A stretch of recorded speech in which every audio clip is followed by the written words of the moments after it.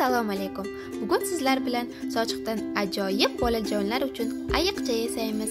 Demak ayiqchani yasash uchun men ko'rsatgandek qilib sochiqni o'rab olamiz va bel qismiga va ikki quloqchasiga rezinkalarimizni o'rnatib olamiz.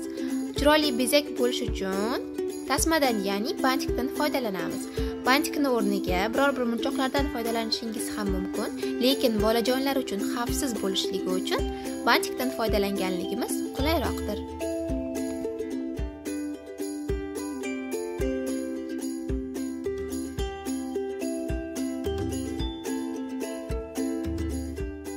Mana ayiqchamiz ham tayyor bo'ldi.